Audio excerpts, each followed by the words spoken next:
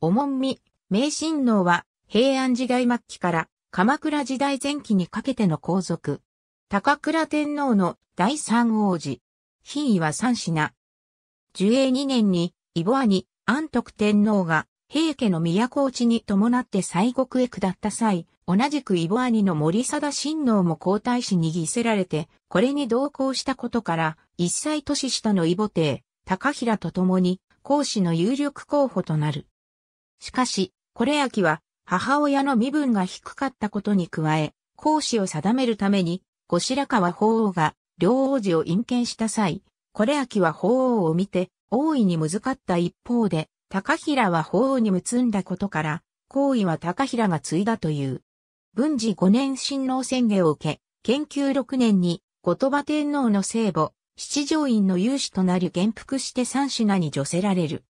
上元4年、後鳥羽天皇の巫女、純徳天皇が即位すると、皇位継承の望みがなくなった不遇を図らんで、翌上元5年出家し、以後は、聖縁入道親王と名乗った。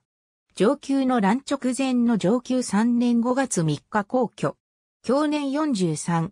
和歌に優れており、式市内親王や藤原定家などの東大随一の歌人とも信仰が深かった。新古今和歌集以降の直線和歌集に33種が収められている。ありがとうございます。